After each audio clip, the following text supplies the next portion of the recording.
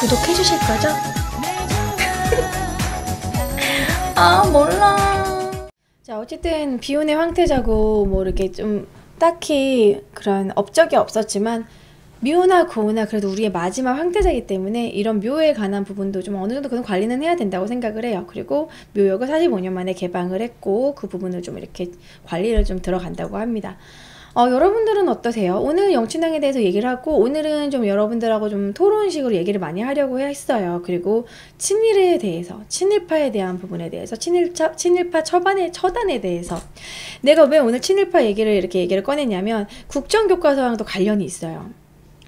어, 지금 박근혜 대통령의 아버지 박정희 전 대통령은 일본 이름이 뭐였더라? 다카케 마사오였나? 이 일본 이름이 있다는 건 이미 창씨 개명을 했다는 거고요. 혈서를 써서 일본군에 가담하기도 하고 그러니까 친일적인 성향을 한 행동을 했습니다. 이렇게 또 얘기하면은 어 새누리당 쪽어뭐 너무 우파 쪽만 친일하고 깐다 하지만 김대중 대통령도 창씨 개명했어요. 김대중 대통령은 도요다 다이준 도요다 다이준이라고 창씨 개명했습니다. 그래서 정말 우리나라에 친일로 따지면 진짜 자유로울 사람 없다. 뭐 이런 거. 창식이명은 혈, 당시 다이고 혈서는 거짓말입니다. 어 증거가 있는데 쓴 증거가 있고 기록이 있는데 어 그래요? 음 저는 증거가 있는 걸로 알고 있고요. 그리고 혈서가 만약에 거짓말이라 하더라도 만주군으로 사용 그 활동한 내역이 있기 때문에 일본 군대 가담한 것 자체가 어느 정도의 친일이라고 할 수 있겠죠. 그래서 어느 정도 이제 이런 부분 때문에 만약에 이제 박근혜 대통령이 국정교과서를 이렇게 시행을 해서 근현대사를 제대로 서술하지 않는다면 정말 실망할 것 같아요. 그리고 그렇게 되면 진짜 우리나라가 정말 어떻게 돌아가려고 하는지 친일파들의 세상이 되는 게 아닌가 이런 우려가 있습니다. 그래서 지금 많은 사람들이 반대를 하는 거고 그리고 저는 일단 특히 이런 게 문제라고 생각해요. 우리나라가 근현대사 교육을 너무 강구하고 있어요. 여러분 근현대사에 대한 이런 얘기를 했을 때 거의 다 잘 몰라요. 아, 그런 일이 있었어. 아 일제강점기에 그런 일이 있었구나. 뭐 혹은 1970년대 유신 체제가 그런 일이 있었구나. 왜 근현대사를 학생들이 잘 모를까요? 데팡스님 일본에 가담한 건 친일입니다. 그러니까, 그러니까, 민족 반역자와 친일을 다르게 생각하셔야 되는 게 제가 아까 얘기했죠. 미국을 되게 좋아하고 미국 미국이 하자는 거에 되게 동조하고 미국 일에 가담하고 그럼 친미. 러시아 일에 가담하고 러시아 사람들과 내통하고 러시아 쪽과 되게 친하게 지내면 친러. 뭐 명성황 같은 경우는 친청이었다가 친러였잖아요. 친일도 마찬가지예요. 일본이 하자는 것에 가담하고 창씨 개명에 가담하고 일본 일에 뭐 가담하고 일본이 시키는 일에 가담하면 친일인 거예요. 우리나라 친일로 치면 정말 많습니다. 근데 이것은 이제 이 친일 중에서 정말 나라를 팔아먹고 정말 적극적인 친일이냐 아니면 어쩔 수 없는 친일이냐 뭐 이렇게도 나누기도 해요. 아, 근데 친일파 생각하면 정말 가슴이 너무 답답해요. 막 너무 정말 우리나라가 2차 세계대전 이후에 우리나라처럼 이런 민족 반역자를 제대로 처벌하지 않은 나라는 우리나라밖에 없어요. 그리고 우리나라가 가장 일제 강점기 이런 식민지의 기간이 길었는데도 불구하고 정말 잔인하게 당했는데도 불구하고 처벌을 안 한 거. 이 중국 같은 경우는요. 막 한간이라고 그래가지고 막 한족을 팔아먹은 뭐 이런 한간이라고 해서 모조리 처벌했고 북한도 처벌했고 프랑스 같은 경우에는 독일에게 협력한 나치 협력자라고 그래가지고 되게 잔인하게 죽였어요. 프랑스 같은 경우에는 뭐, 뭐 사람들 보는 앞에서 공개 처형하기도 했고. 근데 우리나라는 그런 거를 안 했다는 부분이 물론 미국 미국이 그것을 안 하게 시키기도 했고 그 친일파들을 친미로 만들어서 뒤에서 미국이 이제 조종하기 위해서 그런 것도 있었지만 우리나라 스스로 그걸 못한 게 참 안타깝습니다. 그래서 지금도 이 친일파 문제가 아직도 해결이 안 된 거고. 하, 예. 예, 친일, 아, 친일파 그 친일 백과사전에 박정희 이름이 올라와 있어요. 그런 부분은 다 증거를 가지고 만든 거니까 그렇게 아시면 될 것 같고 아무튼 그런 부분 때문에 우리가 그 우려해서 국정교과서 우려하는 거고 아 근현대사 부분 얘기하다 말았는데 그러니까 근현대사 부분은 학생들한테 혹은 주변 사람들한테 왜 근현대사는 잘 몰라요 이렇게 물어보면 중학교 때 한국사를 배울 때 고대사부터 쫙 배우고 겨울방학 때쯤에 근현대사 부분 앞부분 배우다 말아요. 그래서 근현대사 부분 음, 응선대원군 배우고 3.1운동 좀 배우다 끝난대요. 그리고 고등학교 지금까지 고등학교 교과서 그 흔- 근현대사 과목이 어땠냐면 선택이었어요. 선택. 그것도 문과를 가야 돼. 문과를 가야 가서 근현대사를 선택해야지 배울 수 있는 거야. 그 역사를 학생들이 누가 좋다고 선택을 하겠어요. 그, 그리고 어, 수능 볼 때 근현대사 선택한 애들 진짜 별로 없었거든요. 그러니까 근현대사가 필수 과목이 아니라는 게 큰 문제인 거죠. 왜 자꾸 근현대사를 국가에서 이렇게 으, 은근히 뒤로 넣어가지고 어영부영 안 배우고 넘어가고. 그리고 애들은 학생들 나, 나 같아도 그래. 학생일 때 시험범위 아니면 공부 안 하잖아요. 근현대사 뒷부분이 시험범위고 겨울방학 다 끝나고 봄방학 때 조금 배우다 말고 시험범위 아니니까 공부 안 해요. 몰라 그런 사건에 대해서 몰라 그러니까 그- 정말 그게 안타까워 전태일이 막 부신자살을 하고 그때 당시 얼마나 노동자와 농민들이 힘들었고 그런 것들을 몰라 공부를 안 했으니까 그리고 심지어 고등학교 때는 선택이고 왜 이렇게 교과 과정 이렇게 했는지 이런 부분은 좀 생각을 해보셔야 될 것 같아요. 그리고 정말 잘못된 거. 저는 고대사도 중요하지만 근현대사는 아직까지도 이어지는 역사고 해결되지 않은 역사고 아직까지 일본과 우리나라가 싸우고 있는 이런 독도 문제라던가 이런 위안부 문제 그리고 강제징용 가서 아직도 밀린 월급 받지도 못한 부분 아직도 해결되지 않는 부분인데 그런 근현대사를 학생들이 더욱더 잘 배우고 그것에 대해서 관심을 가져야 되는데 오히려 그런 것에 관심을 안 가지게 하려고 좀 정치적인 어떤 의도가 있지 않나 이런 생각이 들어요. 그래서 국정화 교과서가 지금 가장 큰 이슈가 되고 문제라는 겁니다. 음, 근현대사는 아직 전체 현재 진행정이다, 진행형이다. 너무 이렇게 발음이 이렇게 씹히니. 역사를 잊은 민족은 미래가 없다. 맞아요. 그래서 여러분들이 좀 근현대사에 대해서 학교에서 배우지 않더라도 책을 사서 뭐, 뭐 다시 쓰는 현대사라던가 뭐 근현대사 관련된 책을 이렇게 서점에서 직접 좀 보시고 어 나는 그림 자료가 많은 게 좋아. 그럼 그림 자료 많은 걸로 보고 좀 보면서 근현대사 책 하나는 꼭 읽어보셨으면 좋겠어요.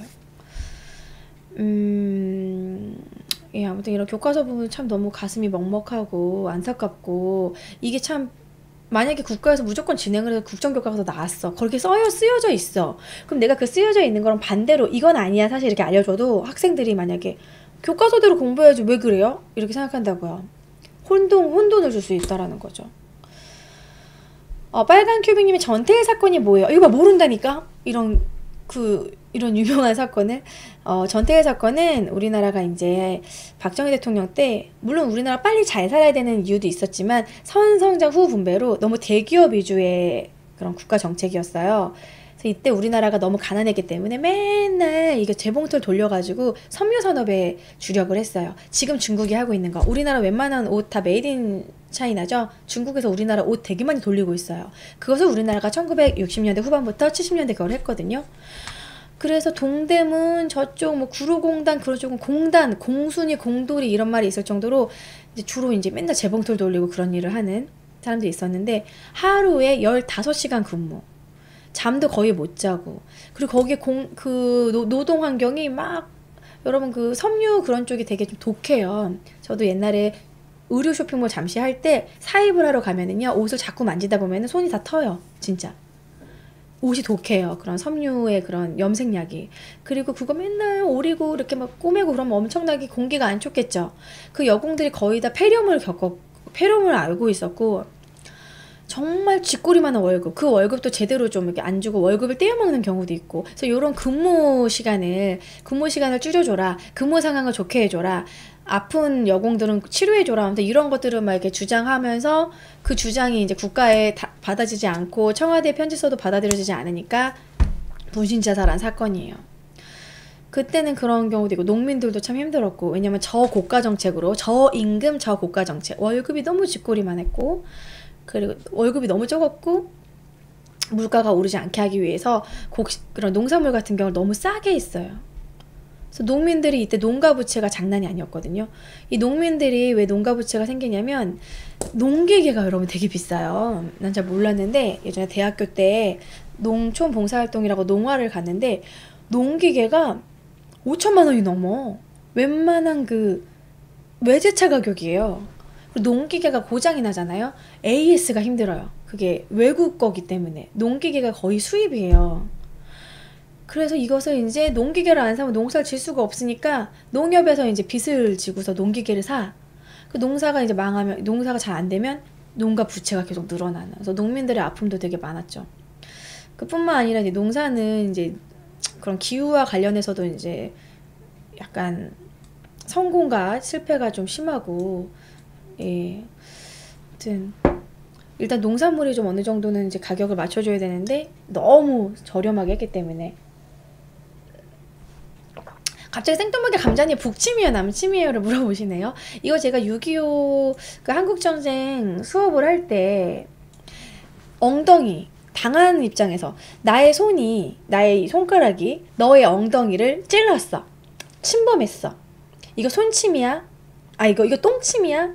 손침이야. 이렇게 물어보죠. 내가 너 나의 손가락이 너의 똥꼬를 침범했어. 똥침이야 손침이야. 그렇게 외우시면 좋거든요 내 똥꼬가 침략당했죠 그죠 똥침이죠 침략당한 입장에서 생각해서 남침이라고 아셔야 됩니다 아직도 북침이라고 생각하신 분은 아, 그러니까 북한이 침략했다. 이거를 줄임말로 북침 이렇게 할 수 있는데 침략 당했다. 우리나라 역사잖아요. 그래서 우리나라 입장에서 생각하세요. 그래서 똥꼬를 꼭 기억하시고 나의 손이 너의 똥꼬를 침략해서 똥침. 북한이 남한을 침략했어. 남침. 이렇게 꼭 기억을 했으면 좋겠어요. 아 지금 내가 얘기를 왜 하지? 한나님 뭐 한복이에요? 아 제가 이 역사 스캔들 시간에만 이렇게 후원받는 이 생활한복 사이트에서 제가 여기 전화해가지고 제가 역사 수업을 하는 BJ인데 일주일에 한 번씩만 후원 부탁드려요. 그래가지고 어, 받은 거예요. 입고서 돌려드려야 돼요. 아, 나 그리고 이거 입고 내일 국, 어, 국제적인 인터뷰하러 가. 내일 세네갈. 아, 너무 웃겨. 어, 이 아프리카 TV에 세네갈 방송국에서 아프리카 TV에 관심을 갖고 우리나라에 이제 와가지고 세네갈에서 우리나라 비행기 타고 와가지고 이제 아프리카 TV에 이렇게 탐방을 하고 어, 좀 우리나라를 알려주는 전통적인 그런 BJ가 없냐 그래가지고 어, 운영자님이 저를 추천해 주셔가지고 내일 한복 입고 오래요. 이거 이대로 입고 내일 저기 세네갈에 있는 저 흑형 만나러 갑니다. 여자만 있는 건 아니겠지? 그래서 이게 흑인 분들하고 이제 인터뷰를 할 건데 내가 세네갈어로 안녕하세요를 찾아봤는데 와 진짜 뭐랄까 정말 가난한 나라의 아픔이라고 해야 되나? 세네갈어로 안녕하세요가 네이버에 없어. 그 세네갈은 무슨 어를 쓰냐면 프랑스어를 쓰거든요. 아직도 독립한 지가 얼마 안 돼가서 안 돼서 세네갈은 축구로만 좀 유명해졌고 그래서 이제 내일 영어로 그냥 몇 마디 영어로 좀 방송 끝나고 영어를 좀 이렇게 기본적인 회화를 좀 외워가야 될 것 같아요. 아, 그래서 어떻게 보면 우리나라 세네갈도 왜 공통사가 있죠. 맞아요. 프랑스에 우리나라보다 더 오랫동안 지배를 당한 거. 그러니까 전 그런 게 안타까운 거예요. 여러분 오래 지배당하면 이거 제가 지금 말한 것처럼 고유의 언어가 사라지고 고유의 역사가 사라지고 정체성이 사라지게 돼요. 우리나라도 일제강점기 1910년부터 1945년간 약 35년간 일제 강점기 동안 우리나라도 일본에 되게 많은 정신적으로 문화적으로 그리고 언어적으로 침투당했어요. 저도 일본말 되게 많이 쓰거든요. 왜냐면 우리 할머니가 일제 강점기 때 그 일본 사람 식모로 있으셨어요. 그렇기 때문에 일본말을 되게 많이 쓰신 거야. 일본어 회화를 어느 정도 하시고 그 일본말 이제 벤또 아, 그 젓가락 와르바시 손톱깎이는 스매끼리 뭐 바지는 스봉 쟁반은 오봉 뭐 이런 거 있어요. 사라다, 샐러드는 사라다. 뭐 이런 일본어를 되게 많이 쓰셔서 그 언어를 그대로 우리 엄마한테 알려드린 거죠. 그래서 저는 그 엄마가 또 쓴 걸 내가 또 어렸을 때 받아들였기 때문에 나는 샐러드는 왠지 사라다 같고 어, 친구네 집에 가서도 야 니네 집 스매끼리 없니? 그럼 친구가 스매끼리가 뭐야? 뭔데 그거? 爪切り 손톱 깎는 거? 손톱 깎이지 뭔 爪切り 뭐야? 너 뭐 할머니 같이 그런 말을 써 막 그래요. 그러니까 그게 언어라는 게 참 무서운 거야.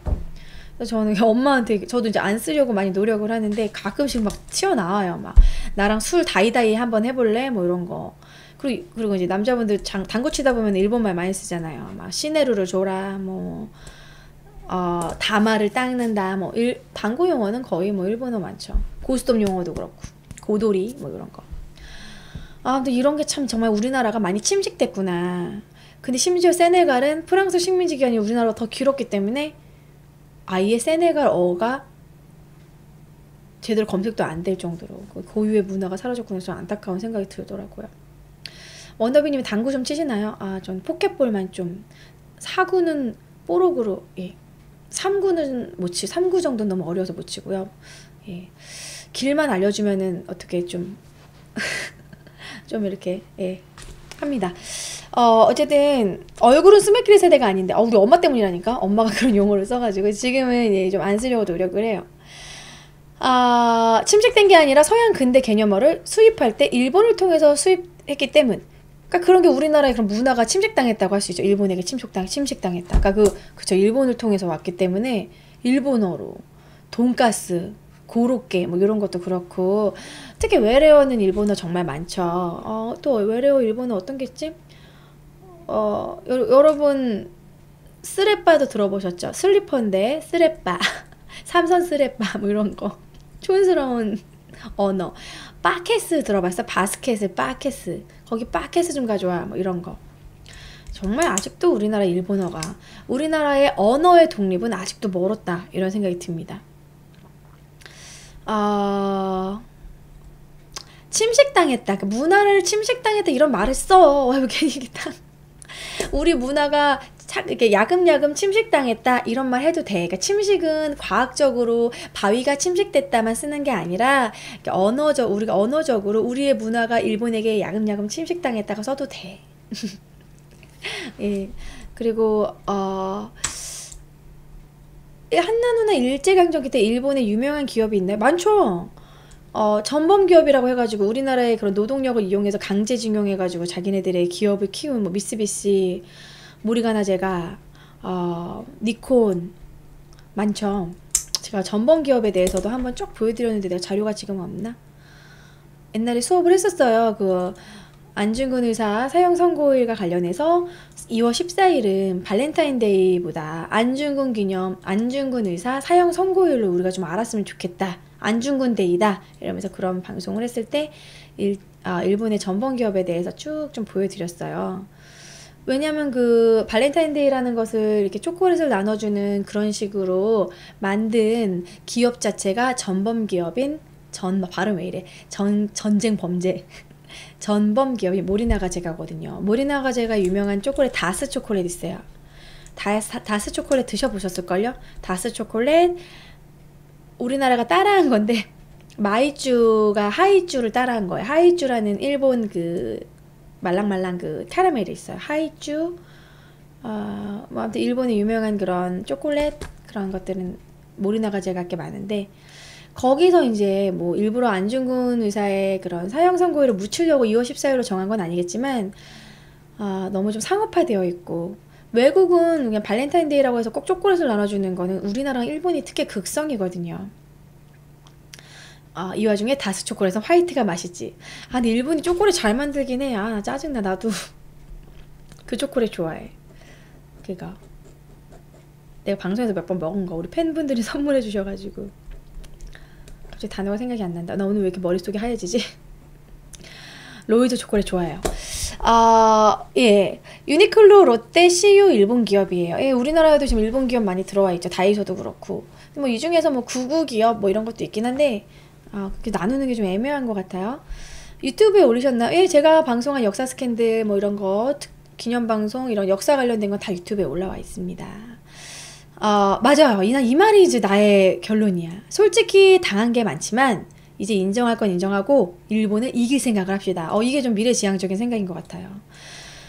어, 친일을 처단할 수 없다면, 지금 너무너무 많이 퍼져 있는 이런 친일파들을 다 청산할 수는 없다면, 적어도 민족 반역자의 그런 자손들에게 적어도 그들에게 이제 너무 잘 살고 있다면, 일, 어느 정도는 좀 환수를, 재산을 환수받고, 아, 그들이 정말 이제 봉사한다는 목적으로 노블레스 오블리주적인 생각으로 우리 부모가 잘못한 거 내가 회, 뭐 회개한다 뭐 이런 마음으로 이제 그런 재산 환수를 좀 어느 정도 하고 그것을 이제 기업 우리나라 국가적인 그것을 이제 독립운동 유공자들에게 쓴다는 건 쓰는 건 어떤지 뭐 그런 생각도 좀 해봐야 될 것 같고 어 이제 언어적인 독립도 좀 해야 될 것 같고 그리고 우리가 정말 더 잘 살아서 우리가 이미 일본을 앞지른 게 많잖아요. 반도체 부분도 그렇고 핸드폰, 스마트폰도 그렇고 반신반의님 팬가입 감사합니다. 어, 자동차도 이제 슬슬 이겨가려고 하고 일본 자동차가 좀뭐 리콜도 들어오고 요즘 위기가 오고 있잖아요. 우리나라 자동차 이기려면 일단은 아 우리나라 자동차 국산차 가격이 너무 올랐어. 국산차 또 이제 좀 발전을 하고 여러 가지 기업 부분에서 성공했으면 좋겠어요. 음, 스나이퍼님 팬가입 감사합니다. 음. 어, 공자님의 또 도, 좋은 말씀. 솔직히 국민들이 나라를 만든다고 하지만 하는 거 보면 우리나라는 갈 길이 멀고도 멉니다. 그렇죠. 우리가 해야 될 과제들이 너무 많이 남아 있어요. 너무 무한 이기주의 뭐 이런 것들도 타파해야 되고 어, 그런 인터넷 악플 어, 나만 괜찮으면 돼라는 이런 이기주의와 이러면 모르겠지 뭐 이런 거 음, 그런데 국민성을 좀 우리나라가 좀 높일 필요가 있고요. 음, 우리나라 정말 과제가 많습니다. 어, 가끔씩 진짜 무슨 기사에 우리나라 막 악플 달린 거, 배플 뭐 이런 거 보면은 댓글로 싸우는 거 보면 과간이에요. 되게 좀 한가하구나 이런 생각이 들고 쓸데없는 열을 올리는 것 같다는 생각이 들어요. 그런 악플 다는 거, 남 괴롭히는 일에 열을 올리지 말고 본인에게 발전적인 일을 한다던가 그 시간에 한국사 공부를 좀 더 한다던가 예, 야사마로님 팬가입 감사하고요. 어, 예, 정글 징글스님 감사합니다.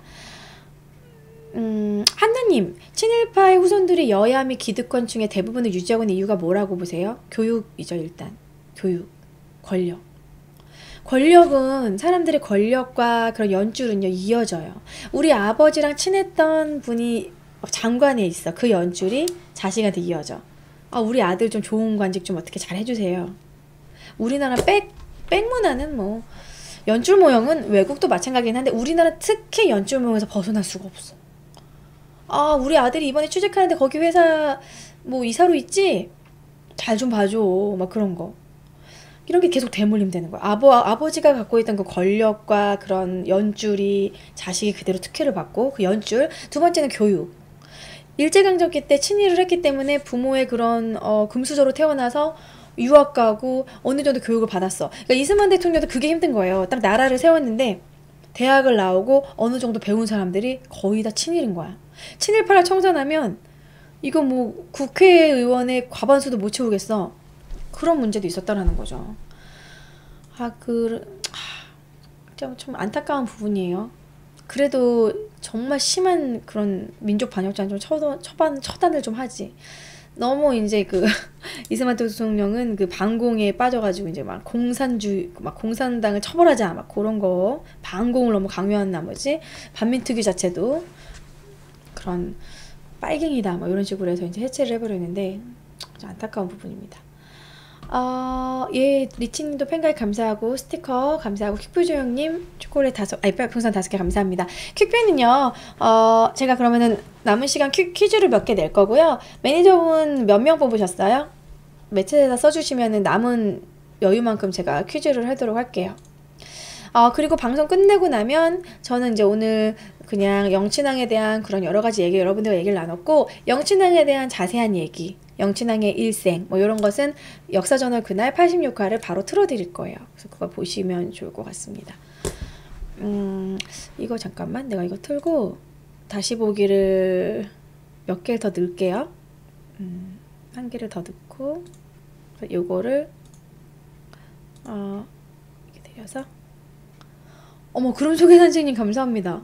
어 저분 저분 어느 방 저기 회장님이신데? 어 감사합니다. 교육방송의 천사계를 아 제가 이거 못 읽어드릴 것 같은데. 어 예, 고맙습니다. 예, 마무리하고 퀴즈 할게요. 아무튼 오늘 영친왕에 대해서 얘기를 나누는데 여러분 어떠셨어요? 음, 좀 영친왕에 대해서 감이 오시나요? 고종의 몇 번째 아들이고 11살에 일본에 볼모로 잡혔고 일본 여자 결혼을 했고 불우한 삶을 좀, 좀 비운의 왕, 황태자지만 그래도 독립운동을 안 한 부분에 대해서는 좀 아쉽다 뭐 그런 부분에 대해서. 어, 예, 24명 정도 뽑았으니까요. 6명 더 뽑아주시고 저는 더 이제 추가로 퀴즈 하도록 하겠습니다. 못난 왕이다 불쌍한 왕이다 이게 맞네요. 아무튼 선생님 너무 감사하고요. 수업료라고 생각하시도록 하겠습니다. 어, 한나님 역사저널 틀어주세요. 예, 방송 끝나면 오늘 관련된 내용의 역사저널 그날 영친왕 영친왕에 대해서 틀어드릴 거예요. 어, 네. 조선왕조의 멸망을 보려면 열광외교를 못 이끈 걸 탓해야지 이미 세도 정치로 사대부들 어... 뭔, 뭔 얘기 하시는지 이해가 안 되네. 음, 우리나라가 이미 정치적으로 망하고 있었다. 뭐 그런 얘기 하시는 거죠? 그러니까 그런 게 식민사관 중에 하나예요. 우리나라가 이미 붕당 정치의 폐해로 이미 망하고 있었기 때문에 그때 일본이 와서 너네들은 오히려 근대화에 도움을 줬다. 라는 식민사관 중에 또 하나죠. 그것을 또 주장하는 우리나라 사람들도 심지어 있어요. 아, 예.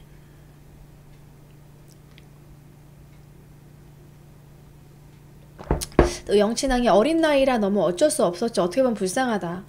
하긴 나도 11살에 그렇게 끌려가면 너무 안타까워서 그냥 다 포기하고 그냥 현실에 그냥 안주할 수도 있었을 것 같아. 너무 어린 나이에 세뇌가 됐으니까요. 뭐 스무 살에 갔다면 나의 생각, 나의 그런 독립에 대한 의지 이런 게 확실히 섰을 텐데 너무 어린 나이를 데려가서 완전 어떻게 보면 희생양이라고 할 수도 있는 것 같아요. 그런 거죠.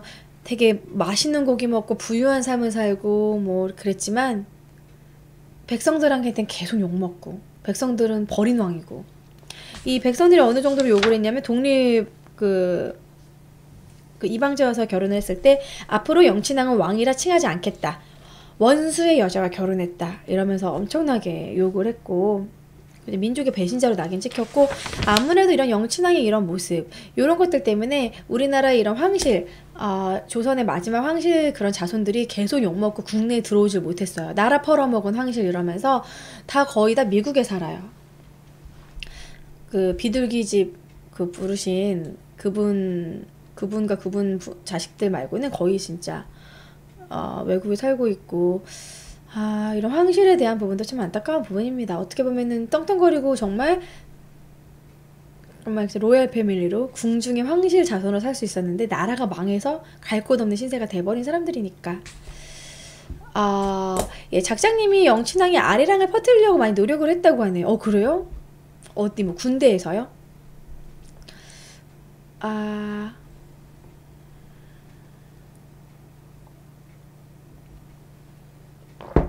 또 이렇게 생각하시는 분도 있습니다. 전 세계가 제국주의 하는데 일본은 그 흐름을 파악하고 대세를 따랐을 뿐. 뭔 일본 탓? 어떤 부분 일본 탓? 대세를 따랐다. 그래서 식민지화했다. 일본이 좀 우리나라에서 욕을 먹을 부분은 식민지하는 과정에서 정말 우리나라에 대한 그런 인간적이지 않은 대우, 너무 식민지 국가라고 해서 너무 우리나라를 막대했다는 부분, 너무 잔인하게 했다는 부분, 그런 부분은 좀 욕을 먹어야 된다고 생각합니다. 그리고 일본이 너무 잘 살았어. 그래서 식민지하면서 본인이 잘 살기 위해서 막 그렇게 주변을 막, 막 침략을 해. 그렇지만 위안부 문제라던가, 강제징용 문제라던가 독일은 적어도 어, 2차 세계대전이 끝나고 나서 그런 부분에 대한 해결을 힘써, 힘썼고 어, 독일의 전범 기업 뭐 아우 여러분들이 알고 있는 그런 BMW, 아우디, 뭐 폭스바겐 뭐 그런 독일의 그런 자동차 회사들도 전범 기업인데 그런 강제징용 갔던 그런 홀로코스트 그런 유태인들 뭐 그런 사람들에게 다 배상을 해줬고 그 자식들의 학비까지 지원해줬어요. 근데 일본은 그런 부분을 하기는커녕 니네 이미 그 박정희 대통령 때 그 뭐냐 한일 그 조약 때 이미 다 배상해 줬잖아. 이러면서 더 이상 말하지 마. 이러면서 제대로 주지 않고. 우리가 배상 우리가 그때 하 그것도 가슴이 답답하다. 우리가 잘 못한 것도 있지만 어쨌든 일본의 그런 아베의 행보라던가 일본이 그 해방 이후에 우리나라에 대해 했던 행동도 솔직히 욕먹을 행동을 많이 했죠. 한일협정이 아, 좀 안타까운 부분입니다. 그런 한일협정 부분은 한 번 예전에 그 위안부 문제 다루면서 얘기를 했었어요. 맞아요. 그 돈으로 포항제철 지금의 포스토를 포스코를 지었고 경부고속도로를 놨죠. 우리나라의 그런 경제 성장이 어쩔 수 없는 선택이라고는 할 수 있겠지만 그 돈은 엄연히 일본이 강제징용 문제 때문에 준 거고 니네가 알아서 해결해서 나눠줘라 라고 준 돈인데 국가가 그 돈을 딴 데 썼죠. 아, 어, 맞아. 그리고 어, 배상권, 개인 기본 그 배상권에 대해서는 더 이상 얘기하지 않기로 한다. 그것을 서약했, 그것을 이제 오케이 했다는 그게 실수죠. 그러니까 본인들은 관계 없으니까 막 이러면서 참 지난 역사를 정말 되돌아보면 너무 안타까운 게 너무 많아요. 그래서 그것을 이제 계속 지금 욕할 것이 아니라 욕해도 어쨌든 돌아가신 분들에 대해서 뭐 죽은 사람에 대해서 어쩔 거야. 그러니까 앞으로 똑같은 실수를 또 범하면 안 된다는 거예요. 역사를 배우는 이유는 똑같은 실수를 범하지 않기 위해서 역사에 일어났던 일들이 다시 또 일어나고 일어나는데 우리가 그것에 대한 현명한 교훈을 역사에서 얻기 위해서 배우는 건데 똑같은 일을 또 계속하고 계속하고 이런다면 나라가 발전이 없겠죠. 음.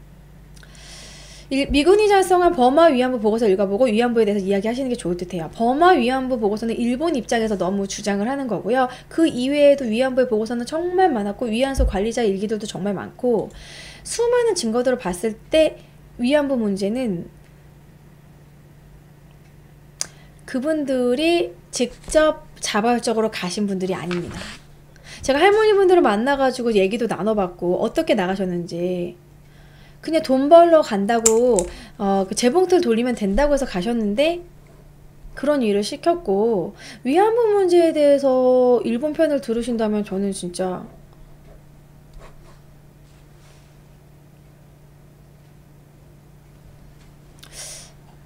욕 나오는데요.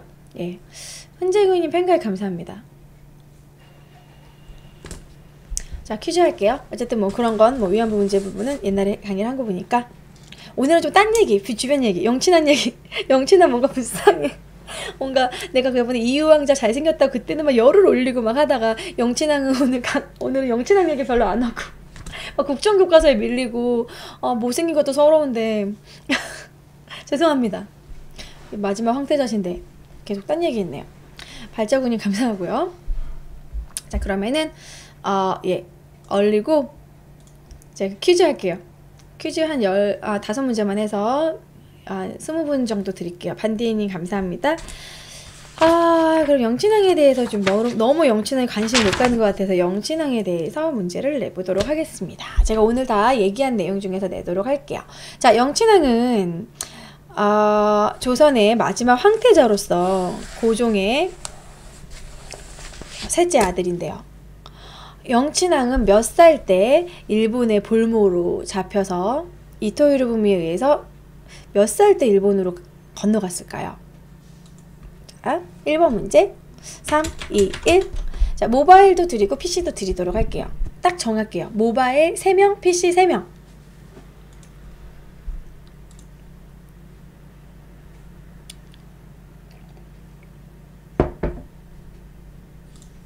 자, 모바일 꽤 나온 것 같으니까 여기서 멈추고 자, 사키의 횡경망님, 횡경망님 큐표 드리고요. 어, 그리고 주홍님 11살 맞추셨습니다. 잠깐만. 아, 우케켈 신나님 11살. 아, 그리고 모바일, 모바일. 모바일 첫 번째. 모바일 첫 번째 빨간 큐빅님 11살. 11살이면 초등학교 몇 학년이야? 4학년인가? 아, 어릴 때다. 아, 그리고 오나의 소라님 11살 두 분.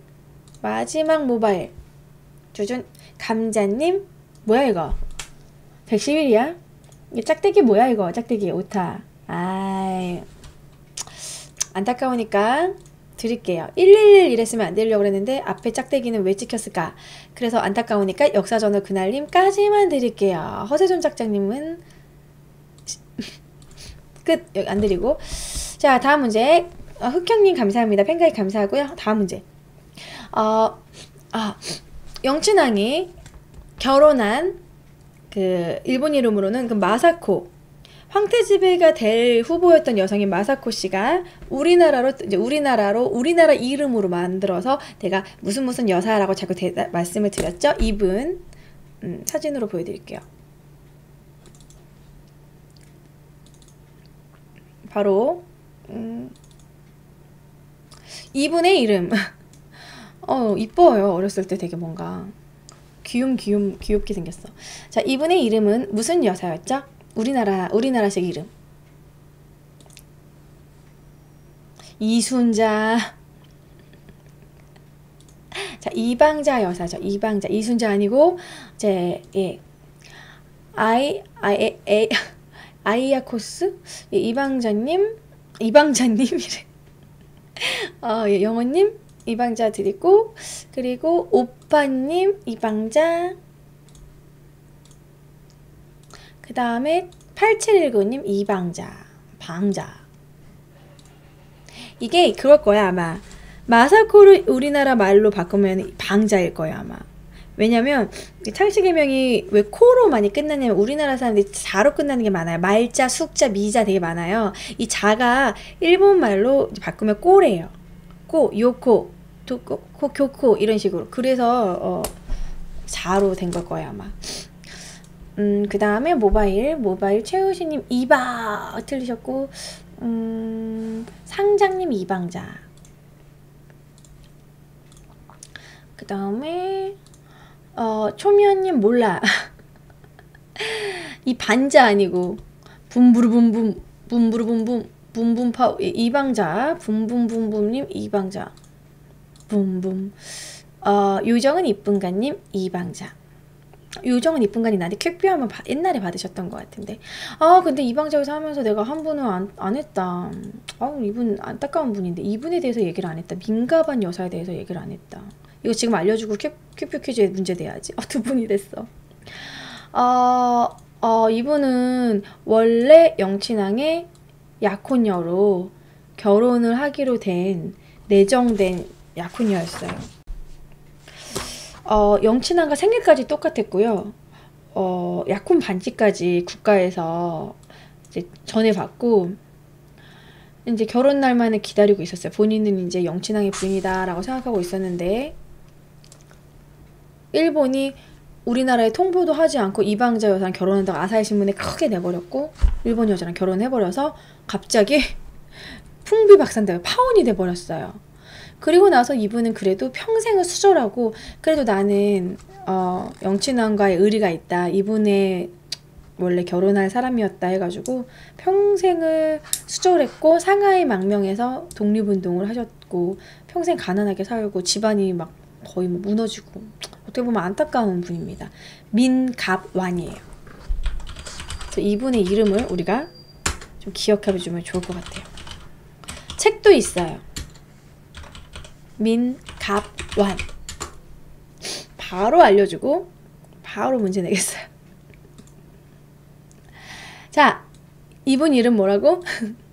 자, 평생을 수절하고 아, 원래 영친왕의 약혼자셨는데 이 집안도 되게 좀 정말 선비 집안이었는데 어, 평생을 수절하셨는데 영친왕이 이방자여서 결혼하는 바람에 어, 순간 파혼녀가 돼버린 이분 평생을 수절하고 독립운동에 가담했던 이분 성함 외 저기 써주세요. 뿅. 슉. 자 모바일까지 나온 바로 알려주니까 바로 쓰기 좋죠. 어, 김안부개님 민가반 드리고요. 세 분 드리고 그리고 브레드님 자, 그럼 세 번째 크로니스님 민가반. 그 다음에 모바일. 모바일에서 민가반이라고 처음 쓰신 프로인반겔님. 프로인반겔. 프로인반겔님 민가반. 음, 소고기 가님 소고기 가님 민가반. 근데 여자인데 남자 이름 같다, 그쵸? 상장님 아까 받으셨고 우아하님 민가반. 그래서 우리 민가반 씨 이름을 기억해 줍시다. 그리고 이분은 마지막에도 영친왕과 뭐 이방자 여사를 원망하지 않았어요. 우리는 그냥 시대의 희생물일 뿐이다 이러면서. 그러니까 그리고 이때는 조선 아직까지 조선 시대에 그런 심리가 있었기 때문에 파혼당한 여자라고 해서 사실 결혼하기도 쉽지가 않았어요. 아예 그냥 평생 수절하신 거죠. 아띠 로아님 팬가입 고맙습니다. 감사합니다. 음. 자 그리고 둥둥둥둥둥둥둥둥 마지막 문제를 하나 더 뭐를 내볼까?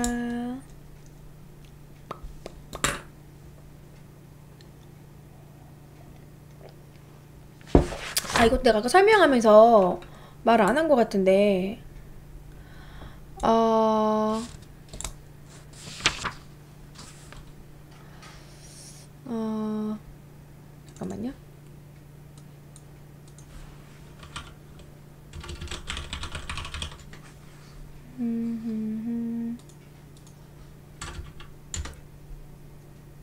음, 이은이 맞구나.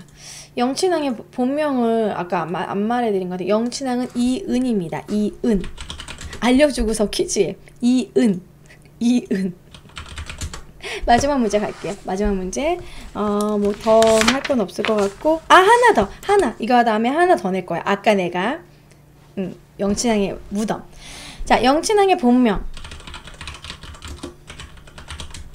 방금 알려드렸죠? 이게 무슨 퀴즈야? 자, 이은, 이은, 이은, 이은, 이은, 이은, 이은, 이은. 이런 식으로도 여러분들 꼭 외우셨으면 좋겠어요. 자, 베토벤 76님 이은 맞추셨고, 퀴표 드리고요. 마지막 문제 좀 많이 드릴게요, 퀴표.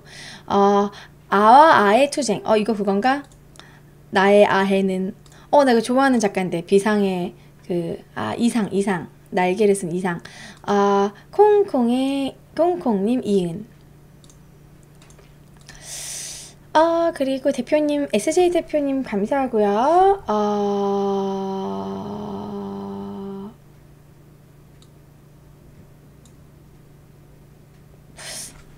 혁명은 아니죠. 음. 5.16 군사 정변, 12.12 사태. 음. 아, 그리고 혁명, 혁명은 너무 그런 쿠데타를 미화하는 것 같습니다. 프로인방겔님 아까 받으셨고 감자님 안 받으셨죠? 줬나? 아 줬나? 몰라. 정확히 기억 안 내가 줄게. 그리고 이은이라고 쓰는 모바일 상장님 아까 받으셨고 소고기가 아흥님 받으셨고 공부의 신님 드릴게요. 만약에 그것을 혁명이라고 표현한다면 완전 뭐 이거는 교과서가 완전 뭐 일배 교과서가 되는 거지. 화물님 이은 교과서라는 건 객관성이 제일 중요하고 학생들이 배우는 건데 중간에 서야 되는데 그러니까 교과서가 너무 우, 파 쪽으로 쏠려도 우익으로 가도 안 되고 좌익으로 가도 안 되고 정말 중도적으로 써야 되는 교과서인데 그게 어느 쪽으로 쏠린다면 둘 다 문제인 거예요. 베토벤님 감사합니다. 내 마음의 100점 감사하고요. 정말 마지막 문제 내도록 하겠습니다. 영친왕과 이방자 여사가 묻힌 어, 무덤. 아까 45년 만에 개방한 최근에 내가 그래서 여기는 뭐다 왕은 릉으로 끝나지만 어, 황태자 이런 왕 왕자의 릉은 왕자의 그 무덤은 릉이라고 하지 않는다. 그래서 여기가 어디다라고 얘기했거든요. 기억나시는 분 있는지 모르겠어요. 힌트는 어 forever. 음, 음. 자 녹일게요. 쭉 많이 드리겠습니다. 자, 여기까지. 자, 영원. 아와의 투쟁 아까 드렸고, 어, 데드제페님 영원 드리고요. 어, 비타민C님 영원. 다섯 명씩 드릴게요. 빨개요님 영원. 8719님 영원. 어, 스타 포레버님 영원 여기까지? 아니 이분 큐큐 없으니까 우리 팬이신데 이분까지 드릴게요. 왜냐면 K99님 홍유룩 너무 어이없게 틀리셨거든요 설리셨으니까 이분 위까지는 다 드리고 그 다음에 모바일. 모바일에 처음 영원으로 쓰신 분 이혜랑님 영원. 한분. 이제 모바일만 쭉 드릴 거예요. 그 다음에 아 이분 영 다음에 이응 들어갔지만 이거는 오타니까 그냥 이응 정도 들어간 건 드릴게요. 글씨가 틀린 건 아니니까. 아, 그리고 영화는 이건 못 드려요. 와는 안 돼. 그리고 소고기가 아흥님 아까 줄였고 0417님 영원. 그리고 공부의 신님 드렸고 역사전을 그날님 아까 드린 걸로 기억해요. 장기하입니다님 어머 아이유를 나쁜 장기야. 예, 장기하입니다님 영원. 네 분 드렸고요. 그리고 딱공님 영원. 영치무덤. 직관적이다. 다섯 명? 아, 음, 따꼬님 드렸고 쿤흑형님까지 드릴게요. 아니다. 더 드리자. 모바일은 평소에 잘 못 받으니까 뿌링클님 드리고요. 기분이다. 아, 내꿈 정봉님 드리고 쿤스님 여우원은 드릴 수가 없네요. 여원 그리고 안 보너스로 마지막에 걸린 심장 약희님까지 드리도록 하겠습니다. 아, 딱공님은 심지어 한 번 더 썼어. 여유, 여유. 자, 여기까지. 자, 퀴즈 여기까지 하도록 하겠고요. 자, 오늘은 어, 영춘항에 대해서 얘기를 나누려고 했는데 사실 영춘항 얘기는 그게 많이 못한 것 같고 국정교과서 뭐 이런 얘기 문제에 대해서 얘기를 나누게 된 것 같은데 아, 오늘 저, 제가 꼭 하고 싶은 얘기는 음, 하, 그런 뭐 이런 얘기 친일파에 대한 이런 토론을 해보 얘기해보고 싶었어요. 그리고 이제 그런 친일 문제 청산에 대해서 그런 부분을 국가가 조금 더 생각을 해봤으면 좋을 것 같고 친일파에 대한 청산을 못했다면 교과서라도 제대로 쓰자. 친일파도 제대로 청산하지 못한 우리나라가 친일파의 후손들로 장악한 내각에서 우리나라의 그 정부에서 친일파적인 교과서를 내지는 않았으면 좋겠어요. 이 국정 교과서가 정말 좋은 뜻으로 행해졌으면 행해지는 거였으면 좋겠고 정말 교과서가 진짜 친일적인 성향으로 약간 식민사관식으로 나온다던가 지금 현재 정권을 잡고 있는 박근혜 대통령의 아버지를 미화 너무 미화하는 쪽이라, 쪽이라던가 극우적인 성향이 정말 띈다면 저도 정말 1인 시위하고 싶네요. 예, 아무튼 훈스크림 100국에 감사합니다. 멍멍 아우 감사합니다.